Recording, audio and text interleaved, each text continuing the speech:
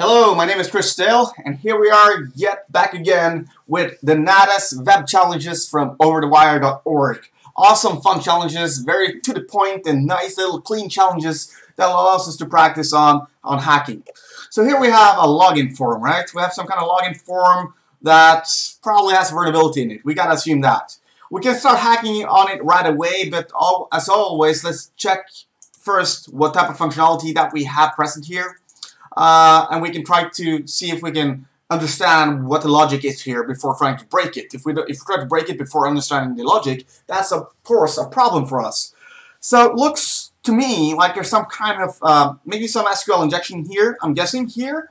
Uh, something like this, for example, select some from star uh, from users table, for examples, for example, where username equals input and we would say password equals also input from the user. So if this is the query that, that they're, mm, they might be running in the backend database here, we can inject here and we can inject here. So we control, we control this and we control this. So before, like, we can maybe try to inject one of these things here. This, this little tick, maybe we'll get an error message, maybe not. In most modern solutions, we, you will not get error messages, but we might be lucky. So let's try a little tick here, and it does say access denied. What about a little double quote?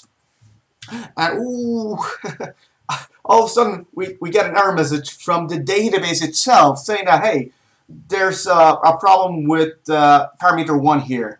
It's uh, it, it has a problem with it. So in our case here, when we inject one of these, it breaks the syntax, leading me to believe that these are not ticks, they're actually double quotes. So we need to change that within our attack. And uh, we are definitely within the SQL syntax because of this is actually PHP function trying to do something with the database and because we're breaking that function now uh, we, we, we, might have an SQL injection here. Uh, what about the other fields? Out of that little double quote here, we still see the same problem. So most likely SQL injection in both of these fields here. So what type of attack could we do then? We control this input. Uh, we don't know anything about the users existing in the database. So why don't we do like an attack of double quotes and let's do uh, or double quotes, one double quote equals 1, uh, double quote 1. So our input will be this. Keep in mind, I did leave off intentionally the last tick here, the last double quote. I left that off. My input will be double quote or double quote 1, double quote equals double quote 1. And that will cause this, this boolean statement, statement here to say the username can be empty or 1 can be equals to 1. Or maybe test can be equals to test, right? So that's our hypothesis so far. Same thing about the password. We want this query to return something. We don't want it to return empty, so we want to kind of say that this AND statement here is always true as well. So we do the same thing over here. We say the input to be and password equals tick or double quote or test equals test. And we leave off the last quote because the developer is already putting this one in there for us. You know, this double quote here is this one. This double quote is actually this one. So we let the developer finish off our query. So let's go in here.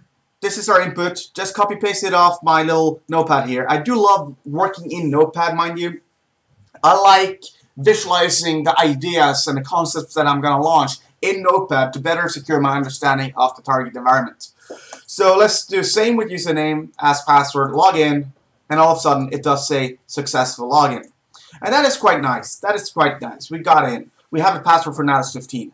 I want to focus your attention though to to what a lot of vendors do today. They will block they will block essentially they will block this. Alright? So this is the string that they will be looking for and blocking you based on. And you will know that you're getting blocked when sending such an attack so if we go back here, we do this attack, we do login, and right now, as I did this request, I, I, was successful, but it probably took a couple of milliseconds, right? It took it took a few seconds for this query to run. Let me hit F5 here, and let's do a repeater attack here. So this is our current attack.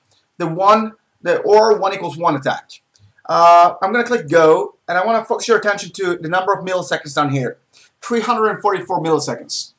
This is the time it takes my request to go to the server, go through a database, create a response, and go back to me. That's not bad. 344 milliseconds is quite rapid. But if you have some kind of web application firewall, some kind of next generation firewall, they will block your request because of this string here. They will block you based on this.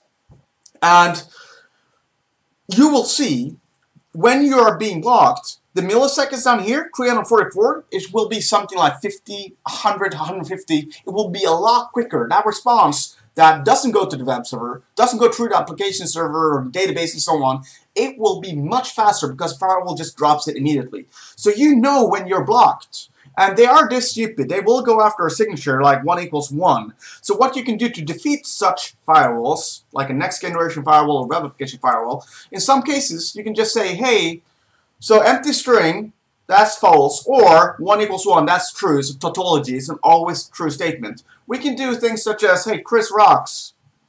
Chris rocks. And think for yourself now, does Chris rock or not? Chris equals Chris rocks. Is that true? Yes, it is, isn't it? I know I'm playing with you here. Yes, I'm saying Chris rocks. But this will evaluate as true on the database. Why don't we launch this attack, in fact? Why don't we go back to the database and do this exact same attack, and we're in yet again. So this alone will bypass many firewalls, and some you might need to replace this with a little uh, dash dash maybe, like a, uh, not dash dash, uh, uh, pipe pipe symbol, because this will also equals or. We can maybe do a comment here, like blah blah blah blah blah blah blah blah blah blah. Do a end of comment. We can add this comment inside of here. We can do the comment inside of comments and it will all evaluate as true, and the database will understand it, but any device in the middle here will just go, I don't understand that. What are you talking about? And we're essentially bypassing next generation firewalls and web application firewalls. So we should probably do a talk about that sometime later, how we can bypass different type of application firewalls and next generation firewalls and so on. Uh, and I'm just going to end the video from here because we have a new level to work on. Nadas 15. Awesome.